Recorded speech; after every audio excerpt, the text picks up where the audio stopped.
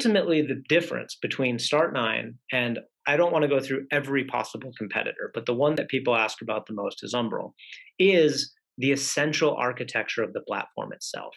Umbrel has, in short, taken a bunch of open source, self hosted software services off the shelf, packaged them into a Docker Compose file, and you hit start. It is a completely, I will say, simple, I will dare say naive, bundled, fragile approach to the solution of an average person running self hosted software services. And anyone who has run an Umbrel will tell you that as soon as anything goes wrong, it is SSH, command line, you put on your dev hat, you get under the woods, and you're back to being a car mechanic. The problem has not been solved. What they have solved is essentially the following. Let's say you have a very technical friend, somebody who knows how to self host and install all these services, and you don't know how to.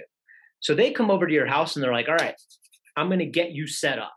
And they pull open your computer and they're like, don't worry about what I'm doing. And they're just hacking and they install everything on your computer, right? And they're like, check it out. You got Bitcoin running, you got Lightning running, you got this running, you got this running. You know, if you want to use Bitcoin, just go plug the address in over here and you're good to go. And then they're like, and they leave. Great. You now have all these things running on your computer, but you have no way of managing them on a in a on a per, perpetual basis. You're sort of on your own now. So the value that that friend provided for you was to bootstrap you.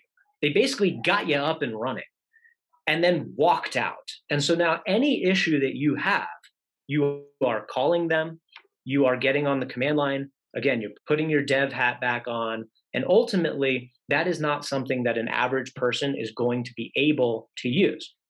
Secondly, the more this person installed, the more things they're running on your computer, the more likely that these uh, sort of obscure edge case or even performance based issues are going to arise, right? So, what has happened here is Umbrel has essentially become a marketing engine that has de- derived a single one to one ratio the more services we announce, the more hype people get, the more devices we sell.